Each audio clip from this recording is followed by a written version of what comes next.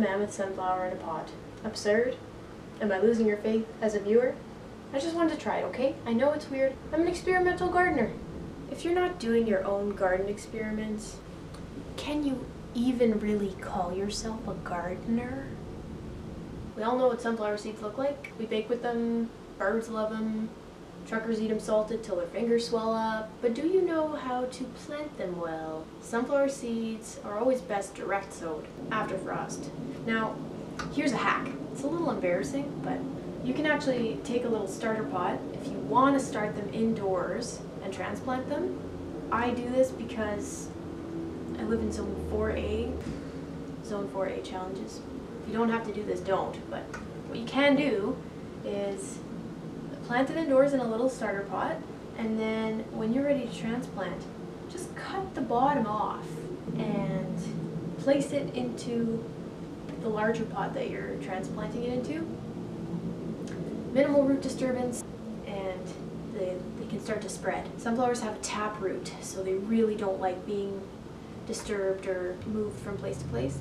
That's what I do. You can also get those biodegradable pots, like Coir they have now, um, the ones that dissolve in the soil. I just tend to have trouble with those for some reason. I don't know what my problem is. Shame on me. The other really important thing about sunflowers is the spacing. Six inches apart is important and one to two inches deep. Sunflowers grow best in full sun, shocker, and uh, rich soil like compost, preferably something high in uh, potassium and phosphorus for the flowering purposes.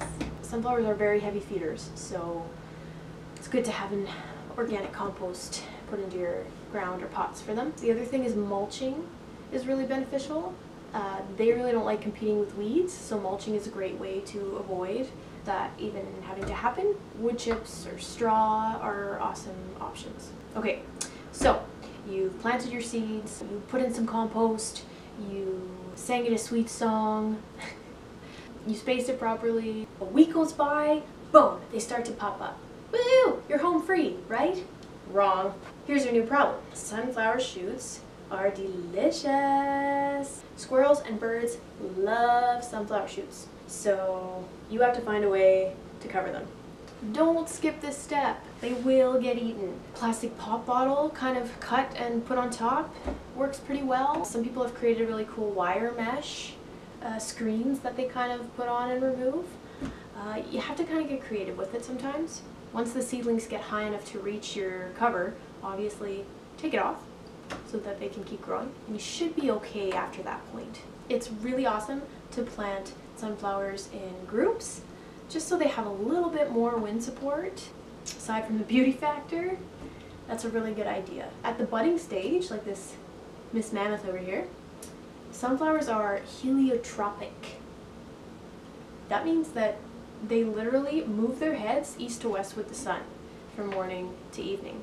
Here's something really neat about sunflowers if you're at all into botany. Okay, these petals, most people call them, are actually called ray florets. Okay, each one of these petals is actually one flower. So this lemon queen here has one, two, three, four, five, six, seven, eight, whatever, flowers.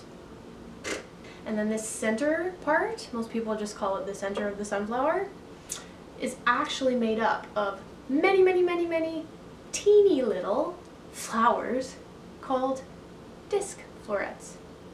The other thing that's interesting is these are sterile. They're just pollination attractors. That's their purpose.